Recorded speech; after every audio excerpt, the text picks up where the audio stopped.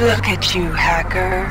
A pathetic creature of meat and bone, panting and sweating as you ru- run through my corridors.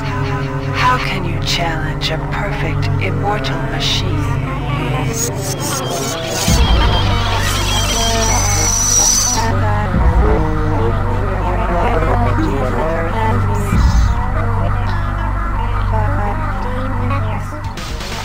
In 2072, a rogue artificial intelligence known as Shodan lost her mind.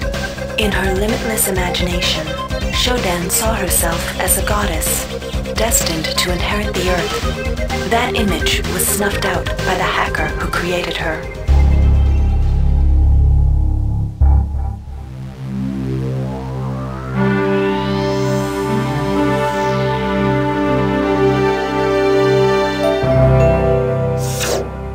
February 3rd is the day the magic happens. The Von Braun, the first starship in history capable of traveling at faster than light speed, will undertake her maiden voyage. This incredible journey is the result of teamwork between the UNN Protectorate and the incredible scientific minds at the newly relicensed Trioptimum Corporation. Imagine being able to travel to distant star systems in a period of weeks. It's all part of TRIOP's commitment to the future. The Von Braun is packed with over 1.8 billion flight, scientific, and security systems, nearly all developed by Trioptimum and its wholly owned subsidiaries.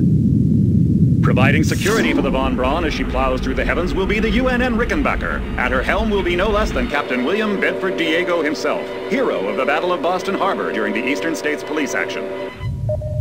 This incredible union of government and corporation is made possible by an intricate series of docking mechanisms that will allow the Rickenbacker to piggyback its way into jump space.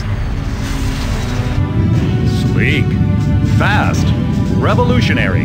Who knows what wonders await our crews in the bosom of the cosmos? All we do know is that it's a great day for mankind.